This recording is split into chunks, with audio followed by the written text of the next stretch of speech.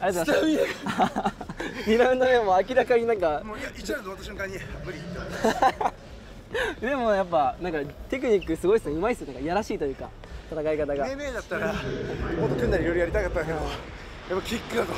俺はまた今足に効いてはいないんですあそう痛めたわけじゃないですか。